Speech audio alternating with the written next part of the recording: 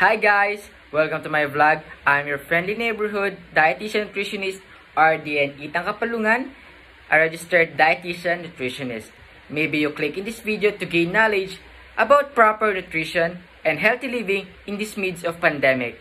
And as a dietitian, it is my responsibility to give you and explain to you the knowledge I have when it comes to being a healthy person in this time of pandemic. No more talk, now it's time for me to inform you about my knowledge. Maybe you have questions in your mind, right? Like, what is the proper nutrition that we need in this time of pandemic? And how we will live healthy in this time of pandemic? And now, let me answer that. Now, let's talk about the food pyramid.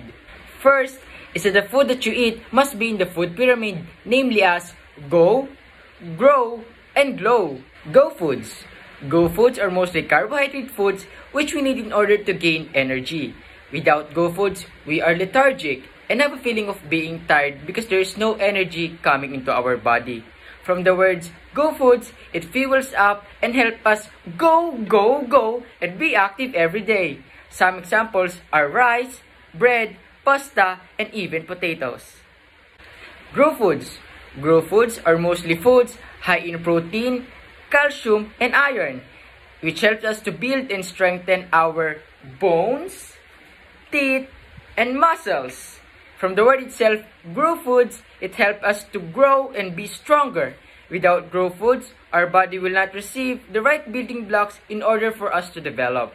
Some examples are beef, chicken, meat, fish, cheese, milk, and many more.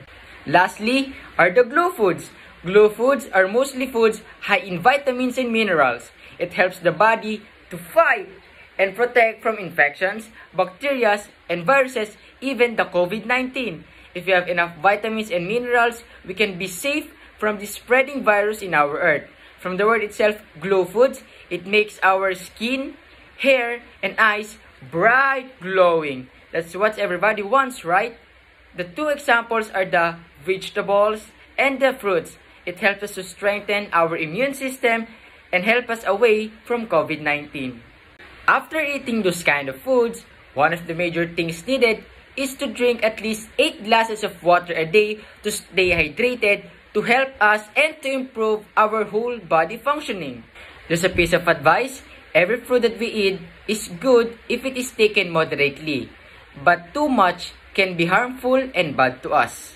After eating those healthy foods, Another way to boost our nutrition is the taking of vitamins, namely vitamins C, E, A, D, folate or folic acid, iron, selenium, and zinc, which help us to boost our immune system in a way that they protect us and they fight viruses, bacteria, and infection which can enter our body. But not just eating and drinking right products will help us to have a healthy body in this time of pandemic. But there are also five types of living to have a healthy and lively living during this crisis. First is having adequate rest daily. Mostly all people needs about 7 to 8 hours of sleep to maintain productiveness in the days that will come. And for the better functioning of the brain, getting less or too much sleep can affect the brain and can weaken our health. And who wants to have a pure immune system in this time of crisis, right? No one. That's why we should have an adequate rest every day. Second is exercising or having physical activities.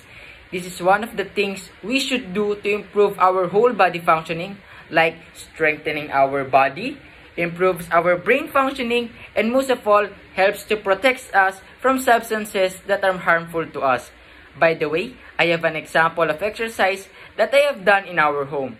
Watch it and try it to have a healthy living in this midst of pandemic. I will put it at the end of the fifth types of healthy living. Third is to avoid using or taking of harmful substances like cigarettes and alcohols which can affect or weakens our immune system. Fourth is spending time with family and friends. It helps us to have a healthy mental health to avoid stress and much worse, depression. And lastly, is having time to talk to God. Even though it is hard to go outside or go to church because of the risk of the pandemic, but participating in an online masses can be the way to renew your spirit to God. Now, it's time to exercise. One of the best examples of exercise during this pandemic is walking or running indoors. It is because outdoors it is hard because of the pandemic or viruses spreading out uh, outside of our homes. That's why it's better to exercise indoors to stay safe rather than outdoors where you can get sick or you can be exposed to the outside world. So now, let's hop into our treadmill.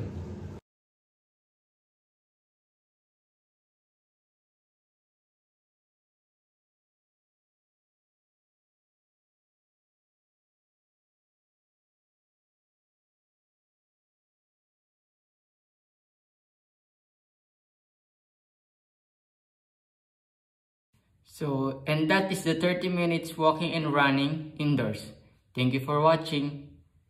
Just a piece of advice, to have a safe and healthy living this time of pandemic, we should follow the health protocols like washing your hands and sanitizing, wearing a face mask, wearing a face shield, and most of all is social distancing when going outside. And that's all. Thank you. Before I end my information blog, again, I am your dietitian nutritionist RDN Ethan Kapalungan saying that ligtas ang may alam. Thank you for watching!